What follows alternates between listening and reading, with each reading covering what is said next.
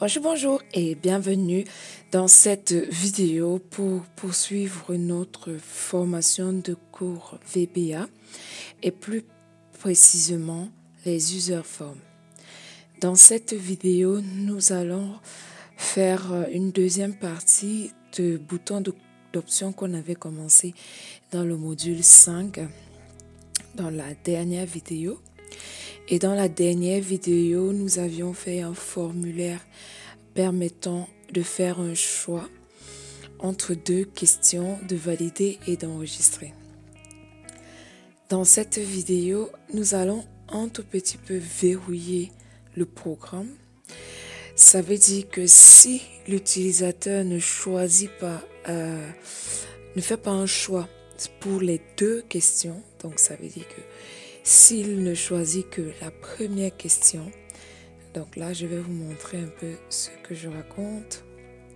Donc, je disais ici, on va verrouiller, on lui dira que si l'utilisateur ne fait que le choix dans la question 1 sans répondre à la question 2, alors on met un message d'erreur. L'enregistrement ne pourra se faire que lorsque l'utilisateur aura répondu aux deux questions. Et pour ce faire, j'ai déjà préparé le programme que nous allons en fait regarder ensemble. Je ne vais pas redétailler euh, le programme parce que vous l'avez déjà dans la dernière vidéo, c'est-à-dire la première vidéo qui introduisait le module, euh, le module 5 sur les boutons d'options. Ici, ce que vous devez juste retenir, c'est comme dans tous les programmes, c'est qu'il faut faire ici euh, une déclaration de variable.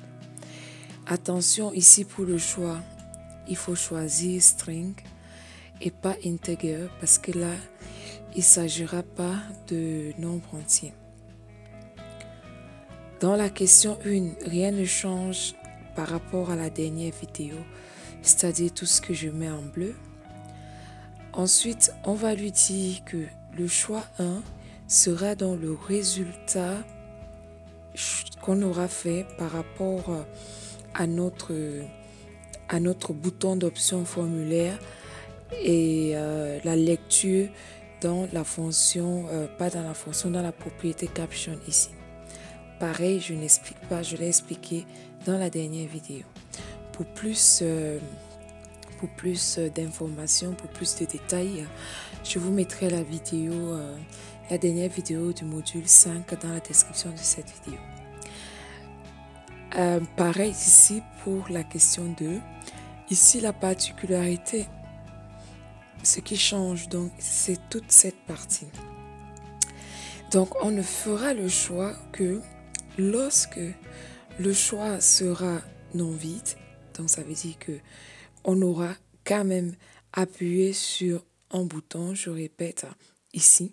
Donc lorsqu'on aura fait un choix là ou là, on pourra enregistrer.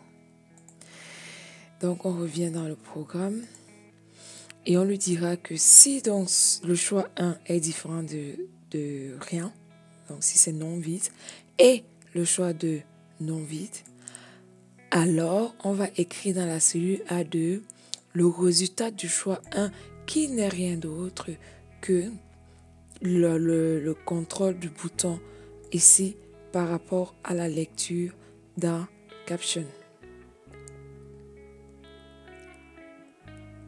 Alors à présent, regardez ce que ça donne lorsqu'on fait, euh, lorsqu'on lance le programme.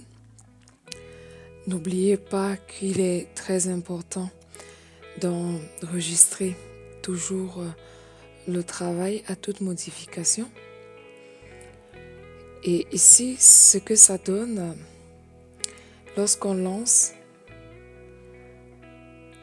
donc en lançant le programme ici, voilà, je rapproche ça un peu là pour qu'on puisse voir euh, les modifications. Donc là, je vais choisir dans la question 1, France 2.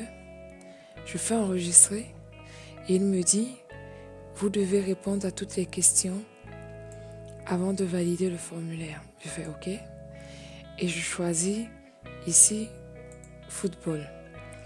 J'enregistre et je vois que ici j'ai fait mon enregistrement.